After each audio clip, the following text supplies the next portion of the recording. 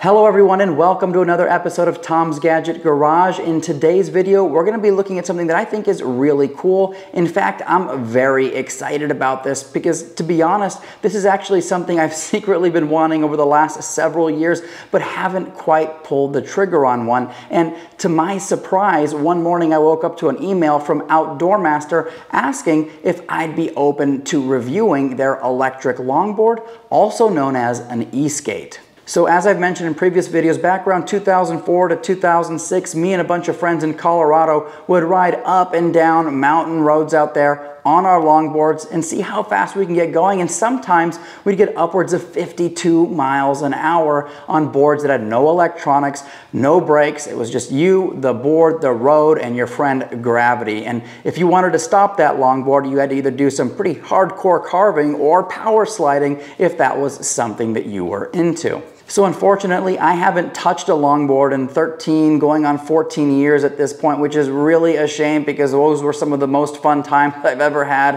Uh, and so I'm really grateful for the opportunity that Outdoor Master has given me on this channel to review one of their electric longboards. So that's exactly what we're gonna do. I'll go ahead and get this box popped open. We'll look at the board, we'll go over all the details, see what's inside the box, then we'll get this thing powered up and we'll take it on a ride. So let's jump into it.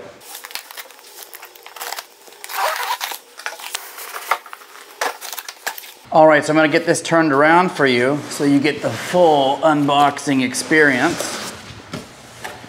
Okay, you've got some foam padding here.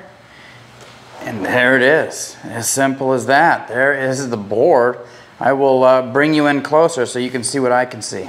So this is the Outdoor Master Caribou. It's got this uh, white grip tape along the entire length of the top surface of the board. Uh, it does have concave throughout, but it's mostly pronounced here uh, towards the front and the rear, which are gonna be the primary places where you're gonna be putting your feet. We've also got uh, this here that says that there are some accessories underneath, so we'll of course look at those. First accessory I see is this Y tool, which is uh, really nice to make adjustments to the wheels, the trucks, all that fun stuff. Battery charger here. Looks like it's got a max output of two amps. USB-A to USB-C charging cable which is going to be important for the remote control for the longboard. Yes, this electric longboard does come with a remote control, so we'll go over some of those details here in a moment. But that is all that is inside of this box. I'll go ahead and get this uh, longboard on the table and we'll go look at some of the details on it. Now here's a closer look of the Outdoor Master Caribou. Now this particular longboard is a hub driven longboard, uh, so it's actually got the motors integrated into the wheels. Now these wheels are 96 by 56 millimeters, so these things are really large as you can see compare this to my fist. They are jumbo size wheels, so the bigger the wheels, the better if you're gonna be riding on rougher terrain. Now in terms of the motors on the Caribou, they can put out a nominal 560 watts each, so that's both of these motors at the rear of the longboard,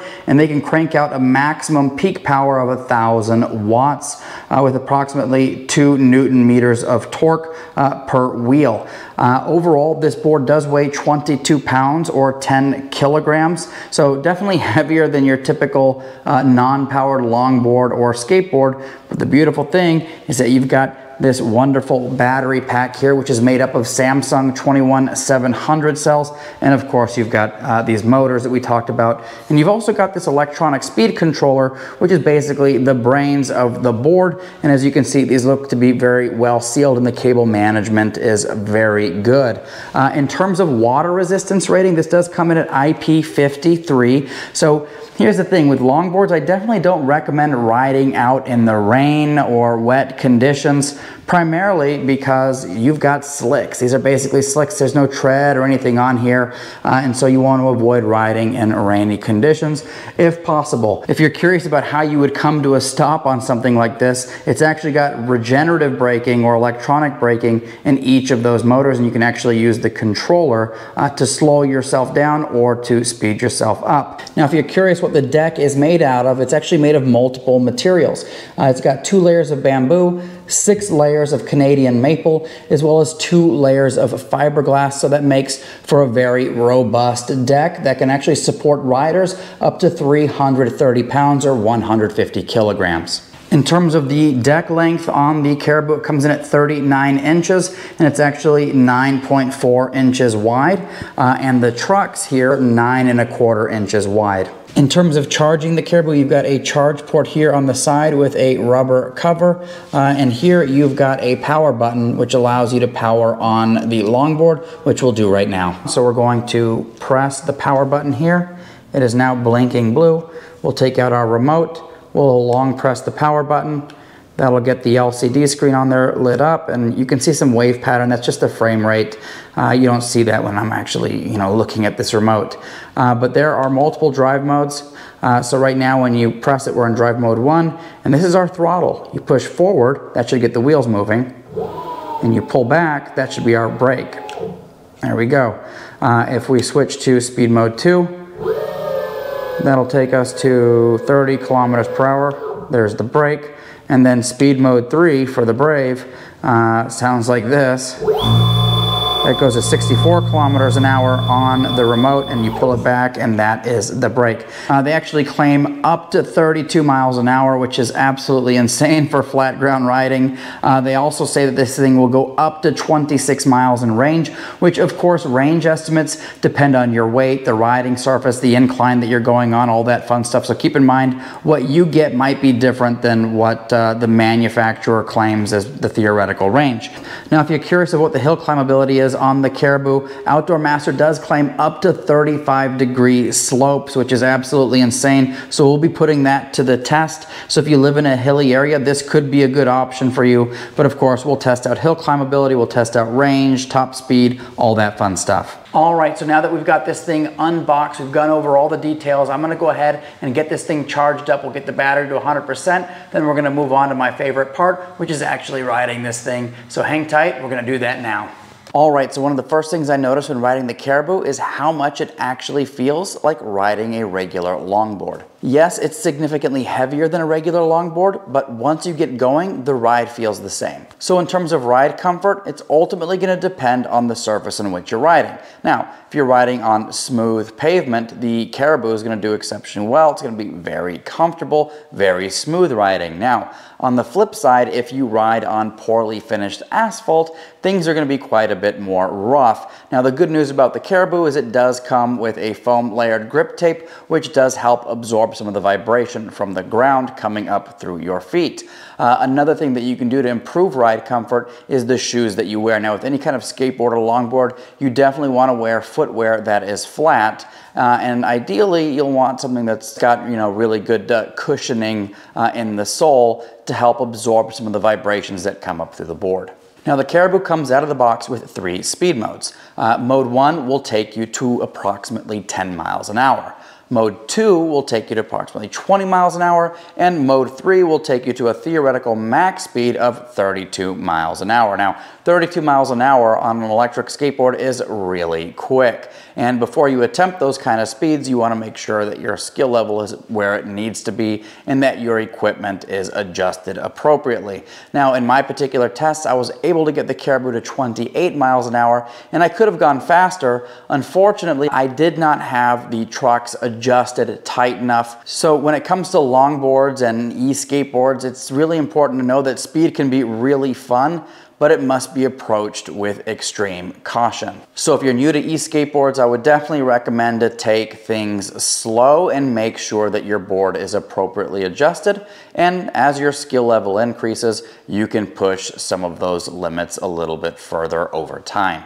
Now, one of the most impressive aspects of the Caribou is its ability to climb steep inclines. Now, Outdoor Master does claim the Caribou can climb slopes up to 35 degrees. Now, unfortunately, I don't have any slopes that are 35 degrees anywhere around me, uh, but I was able to test this on various slopes, both short and long, and I'll tell you what, uh, this uh, e-skateboard has no issues at all whatsoever climbing. So if you plan to ride the Caribou in hilly areas, you should have no issues at all whatsoever. So when it comes to braking, I was really unsure what to expect. It's an electric skateboard with regenerative braking and no mechanical brakes at all whatsoever. And surprisingly, the brakes on the Caribou are very effective on both flat ground as well as downhill scenarios. My only recommendation when it comes to braking is to use the brakes with caution. Uh, keep in mind that the only connection that you have to that board is your feet. So as you and the board are moving forward, uh, when you hit those brakes, the board slows down, your body has a tendency to keep moving. So you're gonna wanna compensate that movement by putting, leaning back and putting some of that uh, weight on your back foot. Uh, that way you can counter some of that forward motion when the board slows down. When it comes to range, Outdoor Master does claim that the Caribou will get upwards of 26 miles on a single charge. Now, keep in mind that when it comes to range estimates, just know they are based on very specific criteria. For example, a 165 pound rider riding on uh, flat, smooth ground in 77 uh, degree Fahrenheit temperatures with minimal stop and go. Uh, in reality, our conditions might be completely different than those test conditions. For example, I weigh at 205 pounds. Uh, I was riding uh, on a mix of surfaces, uh, asphalt and pavement, uh, on a relatively warm day. It was like 87 degrees out at the time.